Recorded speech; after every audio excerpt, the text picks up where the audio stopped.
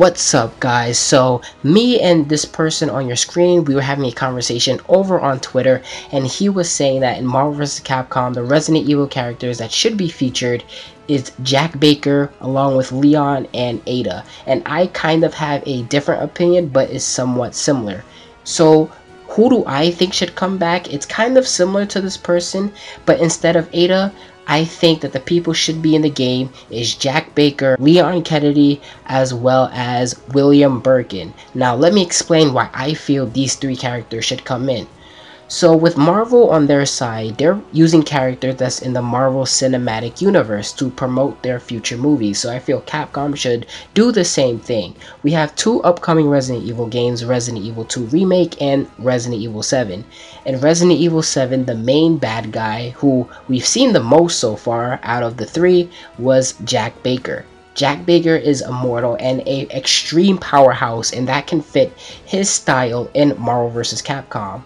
Leon S. Kennedy can be similar to Chris in Ultimate Marvel vs. Capcom 3, a very fast character that uses weapons to his advantage. And I feel that William Birkin can bring a new playstyle in it, similar to Nemesis in Ultimate Marvel vs. Capcom 3.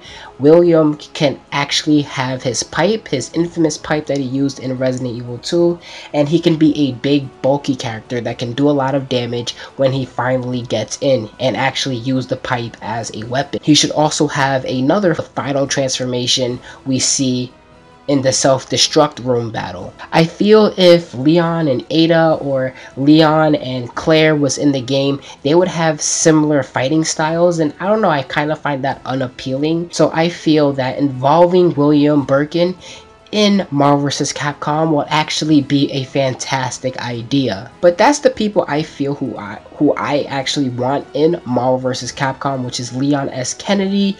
I would like Jack Baker as well as William Birkin. What do you guys think? What characters do you want to see either come back or brand new characters being introduced in the Marvel vs. Capcom series? But anyways, I'm gonna be out of here. Thank you guys for listening. Deuces.